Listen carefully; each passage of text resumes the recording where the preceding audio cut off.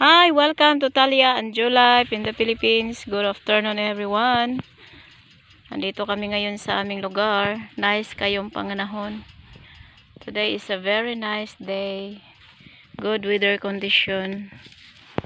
Nga, galing kami ng ano, ng farm. Inalaw namin yung farm ni ma'am. Tapos, pinakain namin yung mga aso. Oh, ang aking dalaga. Hello. Ang aking mga kids. Kumusta ka? Are you okay? Yep. Uh, hello. Oh, nice your outfit. Where are you going? The church. Uh, anong gagawin nyo sa church? Practice. Uh, practice for what? Tomorrow. For presentation? Or you are a worship leader or backup or what? Presentation. Presentation. How about you, Jana? Ah, I know na hinihingal sila sa pag-akyat. ah. Okay, say hi everyone. Hi everyone.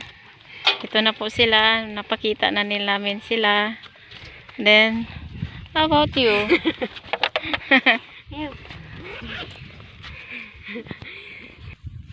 So, going pala sila ng church. Then, oh, hello Jana. Hi. Okay, meron silang igigret. Hi, uh, Ate. El- Hello, Bonso. uh, Bonsa. Um, happy birthday. Oh, anong wish nyo sa birthday niya? Wish ko na maging successful siya sa buhay niya. Pag-aaral. Uh, How about you? I wish you all the best in your birthday and thank you very much for all you have for us. Okay, say hi. Pam- Okay, bye-bye. Bye-bye. Okay, enjoy kayo. So, going to church sila. Mag-practice for presentation tomorrow. Then kami naman, uwi muna kami sa bahay. How, how about you, Dudong? Yung driver. yung driver na. Hello daw. Okay, so baba na kami. Ito na yung ito yung maganda yung araw ngayon. Napaka ano napaka sinag ng araw. So, I wish na bukas party kasi namin sa church. Birthday din ni Pastor Tim. So, mag I wish na okay ang panahon. The weather is good condition. Dahil meron kami mga visitor sa iba't ibang lugar. So, yan. Nandito ako sa tuktok ng bundok namin. At pauwi ako sa bahay. At, yan nga ang plano namin. If God's will, ipa bulldozer namin to. Uh, God will provide for the needs. Especially sa uh, sa pang-bulldozer. So, ganito ka ano, kabab, ano namin. If God's will lang po talaga, kasi kami, umaasa lang kami sa Panginoon. Then, yan. Tapos dito yata, dir, dire ba nan? Mm -mm. Ah, doon pala sa taas. Yan eh. Kabahangan pala to dito. Kasi sila si mama, ano na rin, matanda na. Kailangan na din na ayusin ng maayos na o sakali man. Mamaya, ah, babalik na naman kami. Mag, mga ngahoy muna kami para gamitin bukas sa pagluluto sa simbahan. Kaya, yun.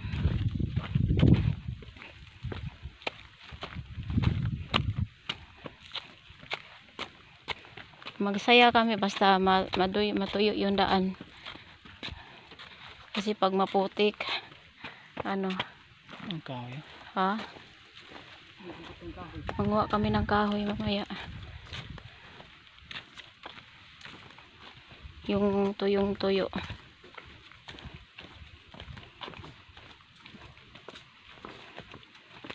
Yan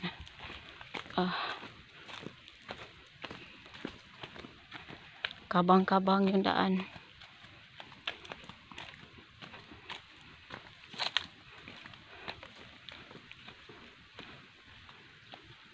So minsan pag ganitong season no, umunga din yung mga Chinese mango. Kaso andito hindi na umunga manguha ng ano kahoy si Pere. Tapos isasakay mamaya sa kalabaw.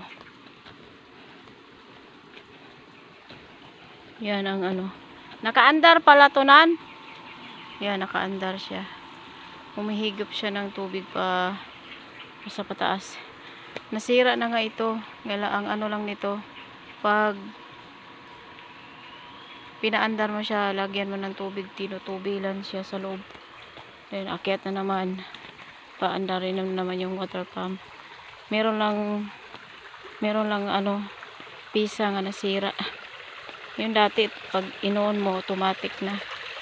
Pag ganito ang kulay, parang gatas, ano yan, may nagtatanim doon sa taas. Yan, yun, sapa. Punta tayo dito kay mama.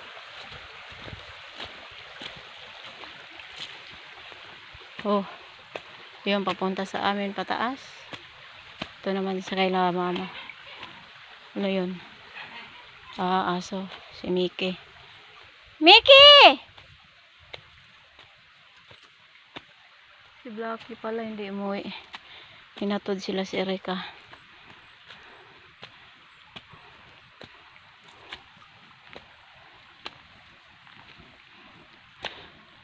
Si Talia naman ngayon, namimili para din bukas sa church. Kasi kanya-kanya kaming contribution.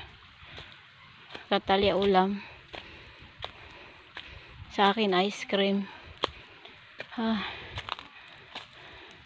Pag makamalama, makarating ka na sa tuktok, hinihingal ka na.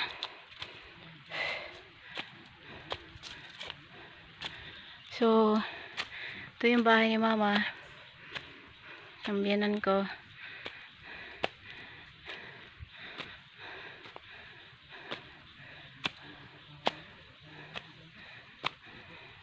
Gihawanan din niyo daani pa? Gihawanan din niyo daani? Kini na lang lumboy oh.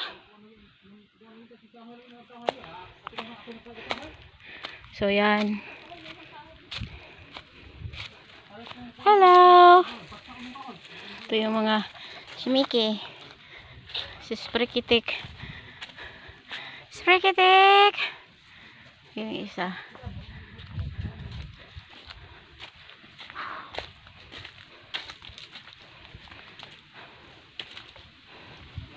Yun.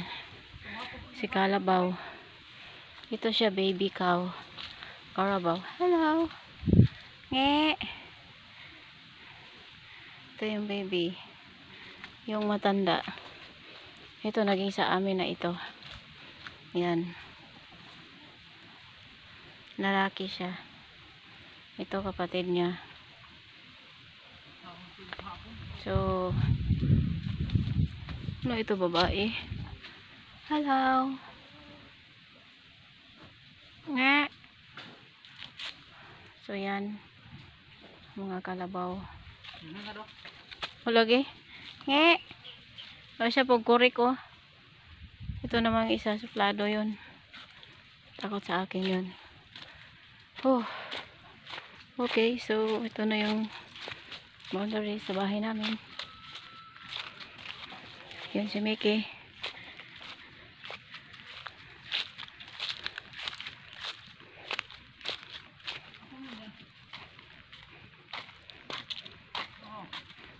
Yan.